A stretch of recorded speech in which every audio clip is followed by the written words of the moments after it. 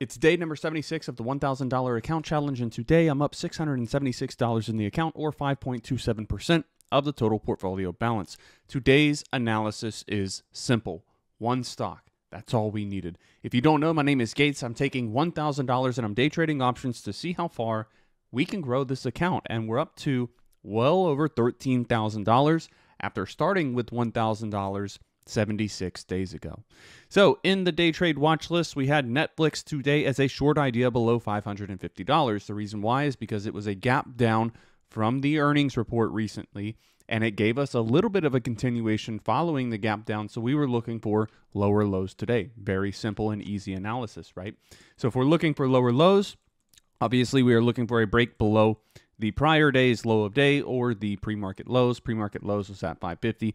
That's also going to be a whole number, which is a natural point of static support. Therefore, the break below 550 was the level to watch today. Now we get the fluctuation. I'm on the one minute time here. One one minute time frame here. We get the fluctuation below, the rally back up above, and then the move back below. So we're staying patient here as this rally's getting sold. And then on the retest of the trigger level at 550, we take the entry short, literally at the top of this candle.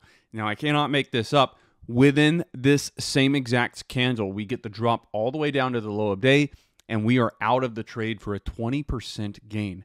And if you do not believe me, all of this is time stamped in the alert room. So, initially, starting off today, we had Netflix loaded up these put contracts, right? 9:31 a.m one minute after market open. So we should have been well prepared. We knew that Netflix kind of already dropped one minute after market open. Hey, we're going to prepare. Let's take this short. Doesn't mean we have to take the entry short. All that means is that we're loading the contracts, getting ready to press buy in the event that an entry opportunity is offered to us.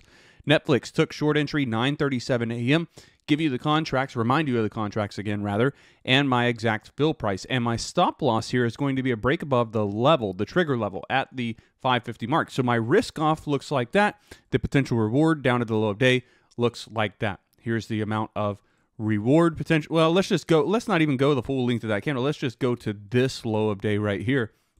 Even so, here's your reward amount here's the amount of risk. It's well over double the amount of risk that was assumed on this trade.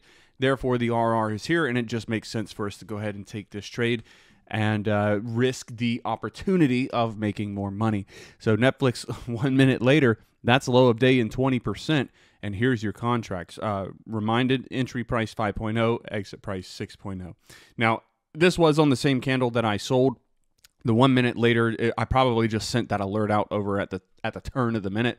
So then we get the rally back up to the trigger level at 550. And I'm like, hold on, wait a minute. Let's go back in on this because this may not be done, right? This may do something where it sells off, creates a lower high, and then comes right back down. Unfortunately, this does not create a lower high, but it does create almost the same exact high. So what I wound up doing was going short on this big green candle about halfway through pretty much at the same, actually at the same exact spot, at least on the contracts um, that I took previously. So I said, took reentry, same contracts, smaller size, fill price is 5.0. Now, why would I take a smaller size on this position? Well, because I don't want to risk the profits that I just made on the last position, right? If you ever start the green off, uh, the day off green, here's a little hint for you. Write this down if you have to.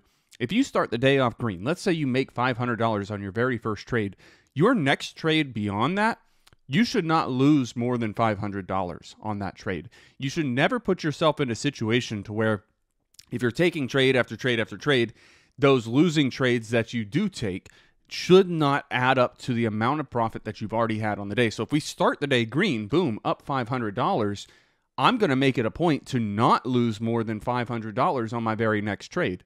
So, in an effort to mitigate risk, I sized down. Plus, this was a full bodied green candle, right? We didn't know that this wasn't going to uh, continue up. Now, because this moved up so quick and rejected so fast, I did not have a chance to really even stop out of this trade. I, I said my stop loss was at $550, and that is true. But because I was in with smaller size, I was able to give it a bit more room. And after it rejected, like I said, it rejected the high of day up here, it happened so fast that this sold off right back towards 550 and we were fine on the position. So from here, it's just trade management. We get the move down to the low of day. Uh, I think we're up like 10 or 15% here.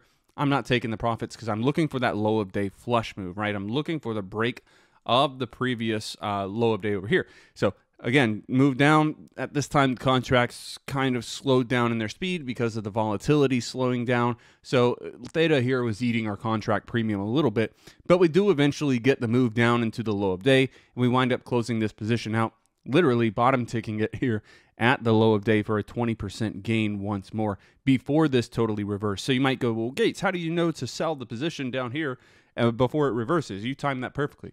I didn't know. I didn't know, in all honesty that it was going to reverse right there. Uh, and that's not my reason for selling, anyways. It could have kept going.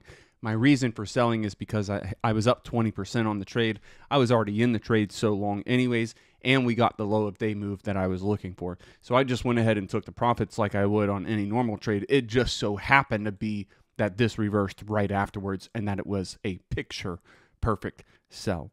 So back to back, two trades on Netflix. Like I said, one stock, that's all you need to watch one break the trigger level. That's all you needed to watch. Two different trades on this back to back 20% profit puts us green on the day, up $676. Pretty solid gain and a nice way to start the week. Thank you so much for your time and watching the video. I hope that you have learned something from the video. If you have, press that like button for me and consider subscribing to the YouTube channel as well. It's just the best way to support me and this type of work that I do. Thank you so much, and I'll see you tomorrow when we continue the $1,000 account challenge. Cheers.